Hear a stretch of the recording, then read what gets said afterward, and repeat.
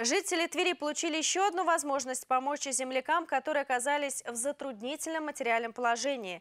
В городских супермаркетах устанавливают специальные боксы, благодаря которым каждый может принять участие в благотворительной акции.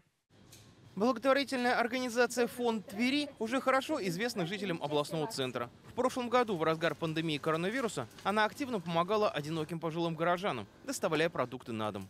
Теперь такую помощь может оказать каждый. Я бы хотела пригласить жителей Твери присоединиться к нашей акции, а, совершая обычные свои покупки, а, там лишнюю пачку макарон или банку тушенки, оставлять в наших боксах. Юлия Саранова подчеркивает, что в первую очередь стоит приобретать продукты долговременного хранения. Крупы, сахар, макароны, печенье, а также консервы. Что касается самих боксов, то их количество в городе планируется расширять. Мы очень надеемся, что у нас получится расширить сеть. А, в этом году наша цель – это 20 боксов в городе. А, но там, где не будет возможности установить боксы, мы уже переговорили с торговой сетью «Магнит», чтобы проводить временные акции и принимать пожертвования в тележке. Особо стоит отметить, что сейчас боксы имеют праздничную пасхальную расцветку.